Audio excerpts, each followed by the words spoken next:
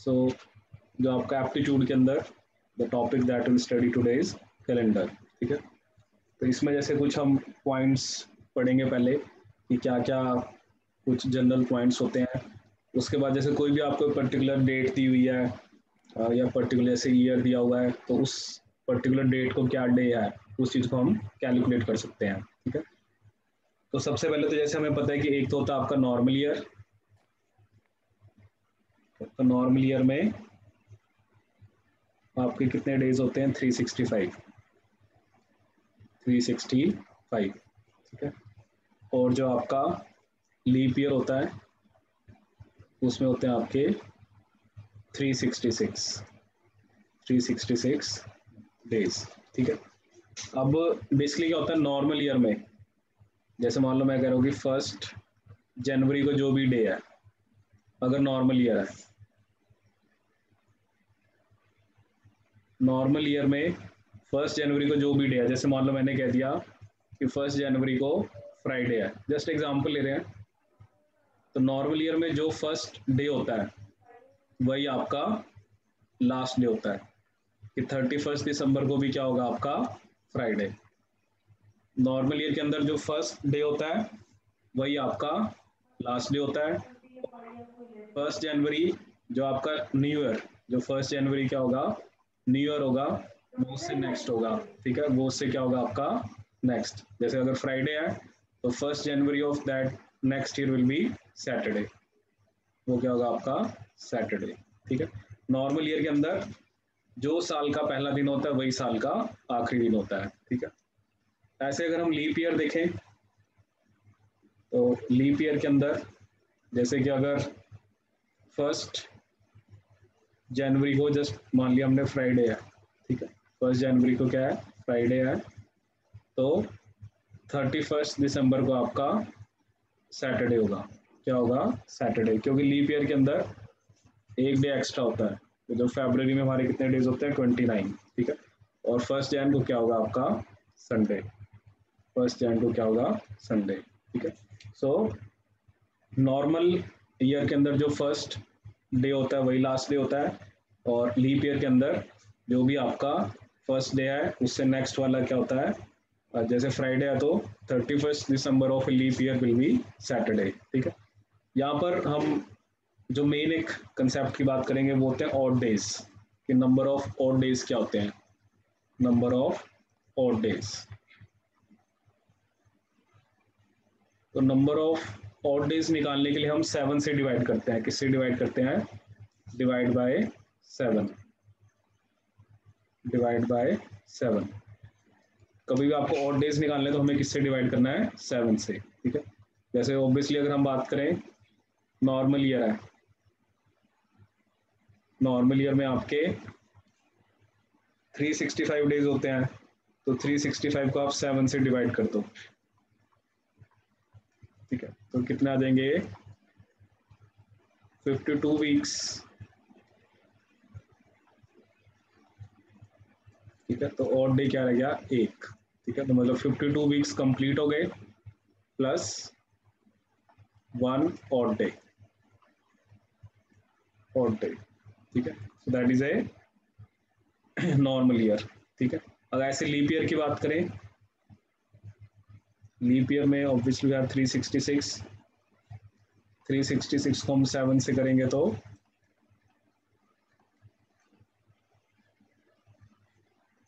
तो यहाँ पर कितने आते हैं? Two odd days 52 weeks plus two odd days plus two odd days ठीक है, ये अभी आपको थोड़ा क्लियर होगा कि और डेज़ का क्या कंसेप्ट होता है। ठीक है तो आपको कभी भी बेसिकली और डेज़ निकालने तो आपको किससे डिवाइड करना होता है? सेवन से ठीक है? और ऐसे लीप ईयर निकालने के लिए हमें किस हम किससे डिवाइड करते हैं? आपके फोर से ठीक है ना?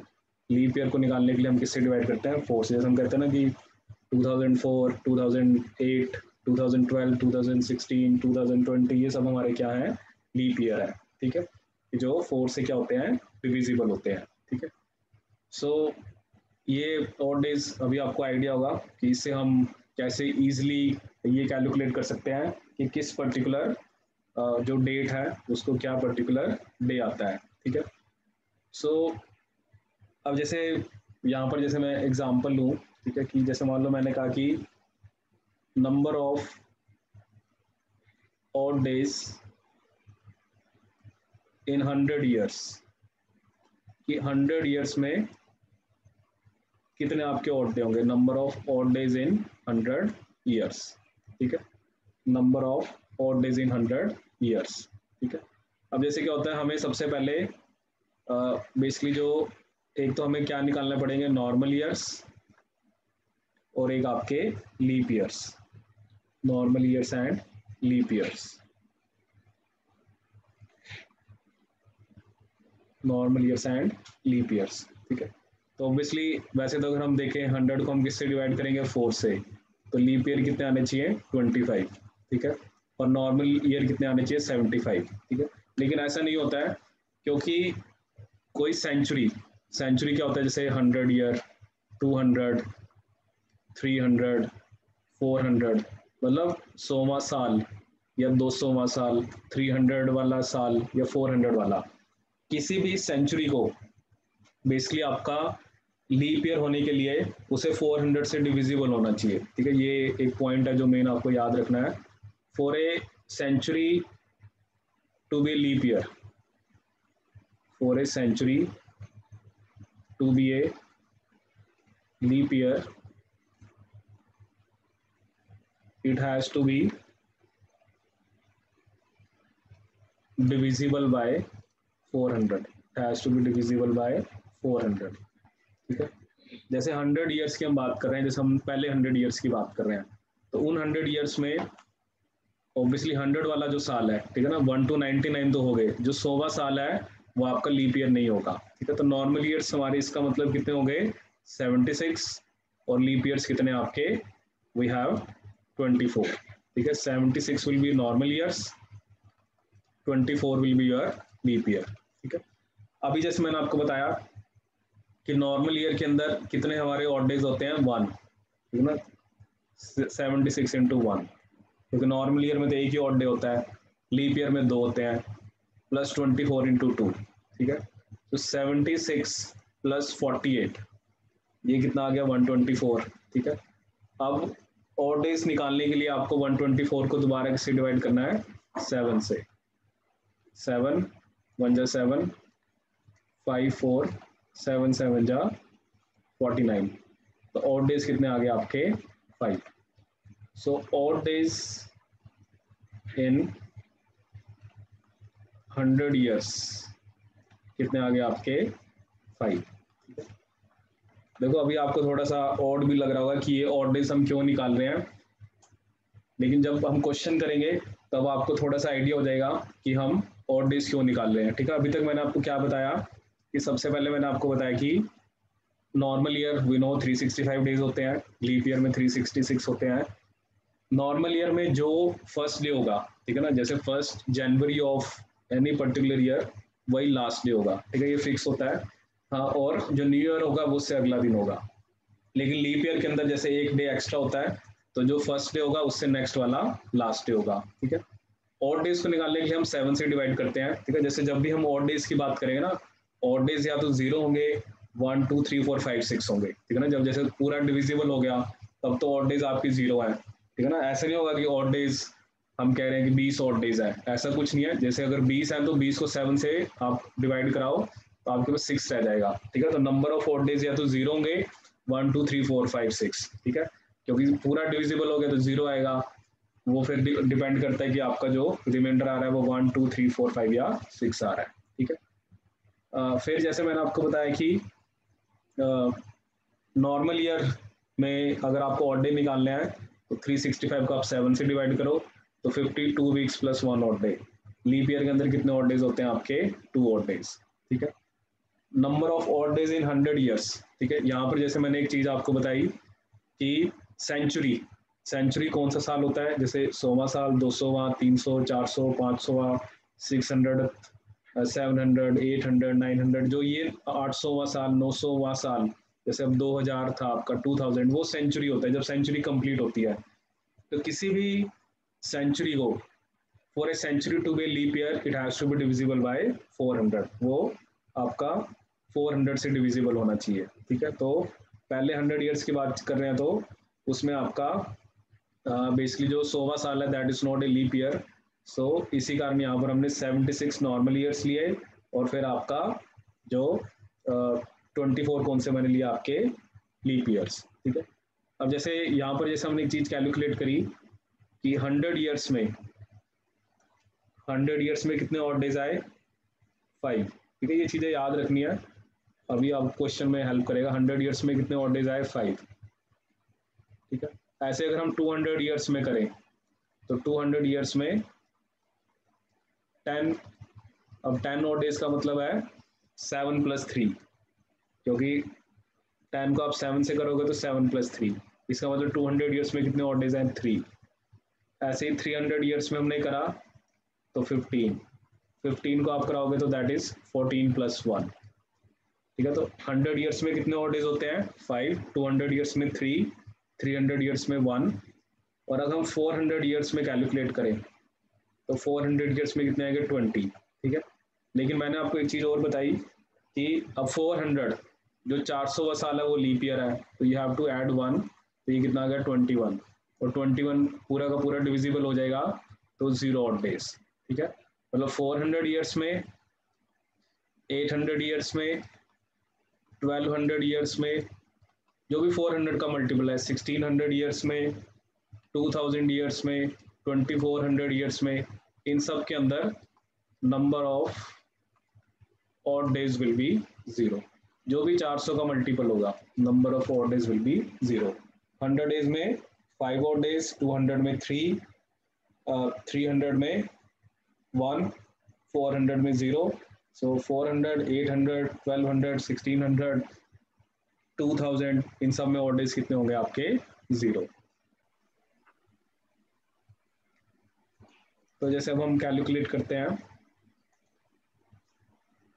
number of odd days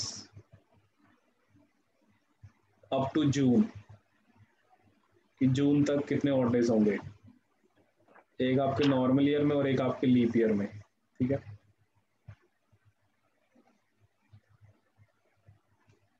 ठीक है तो ऑब्वियसली अगर हम बात करें जनवरी की जनवरी में थर्टी वन डेज़ होते हैं तो थर्टी वन को आपने किसे डिवाइड करना है? सेवन से। सो so, आपके नॉर्मल ईयर में कितने हो गए?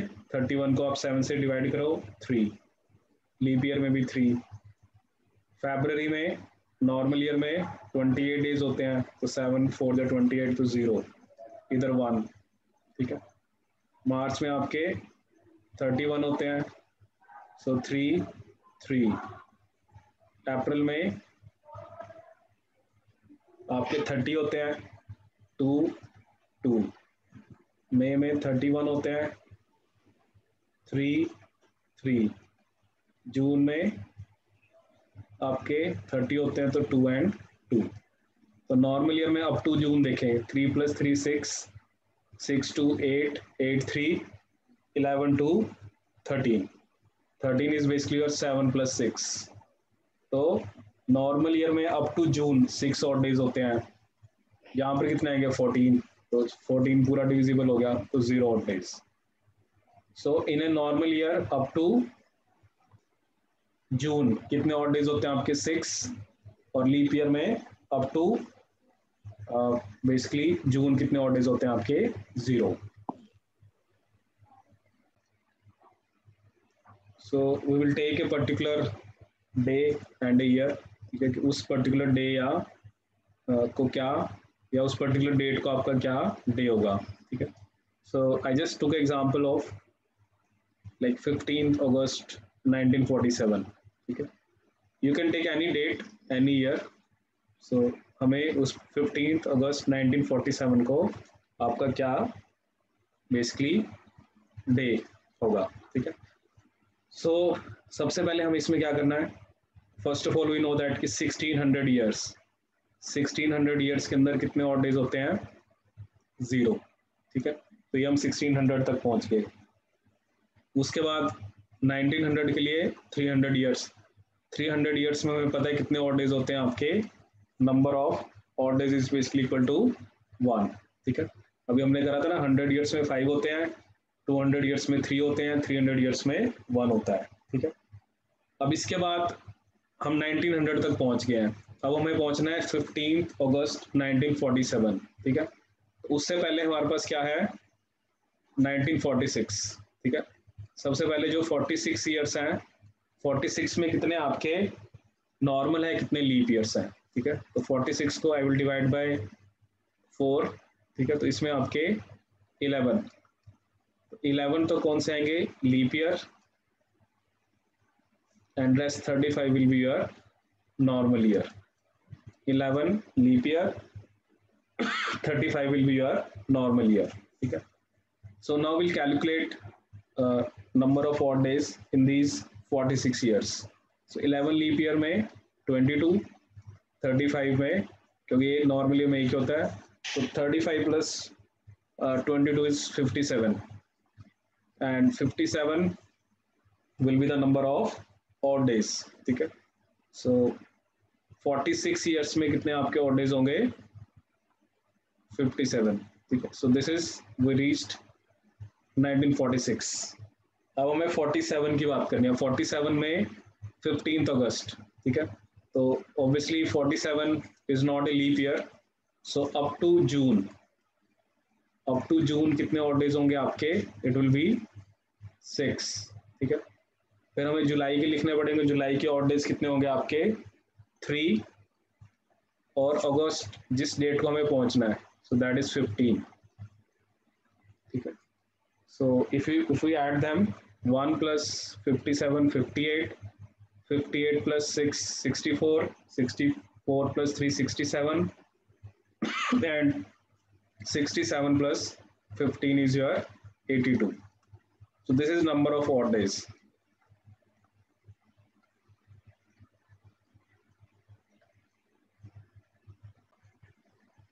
So the number of odd day that we got is 82 ठीक है? अब 82 को आपको किससे करना है? सेवन से.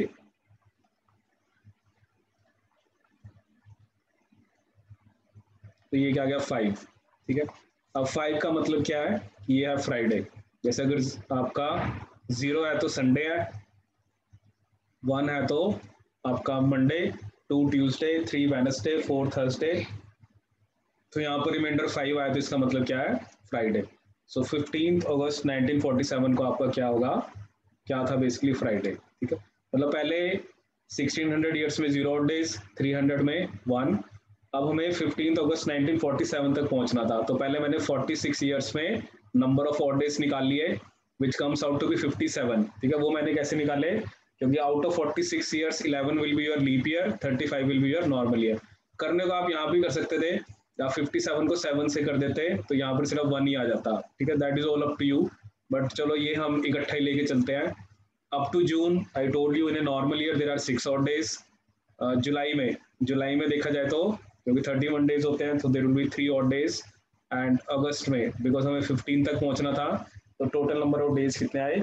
Eighty two and and basically we divide 82 by 7 and the remainder is remainder is 5 so, hence the required day is your Friday. So 27 सितंबर 1962 ये हमारे पास डेट है ईयर है। हमें इस पर्टिकुलर डेट या जो भी हमारे पास ईयर है, हमें डे निकालना है, ठीक है?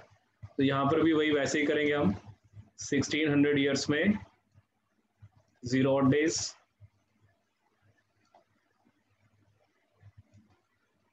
three hundred years में वन और डे ठीक अब यहाँ पर हमें सिक्सटी टू तक जाना है। उससे पहले सिक्सटी वन है। तो सिक्सटी वन में आपके फिफ्टीन होंगे लीप ईयर फिफ्टीन क्या होंगे आपके? Leap year so there will be 30 odd days. So rest 46 will be your normal year. So 46 odd days so, ये हम पहुँच गए आपके 1961 तक। अब 62 में ऑब्वियसली 62 जो है that is not a leap year so normal year वो है तो till June till June will be six odd days जुलाई में थ्री अगस्त में भी थ्री और सितंबर में हमें कहाँ तक पहुँचना है? Twenty seven so one plus thirty thirty one thirty one plus forty six so thirty one thirty seven plus forty seventy seven 77 plus 6 83 83 plus 3 86 86 plus 3 89 89 plus 27 it has to be 116 so 116 को हम 7 से करेंगे 7 1 just 7 4 6 7 6 is 42 so the remainder is 4 so answer has to be your Thursday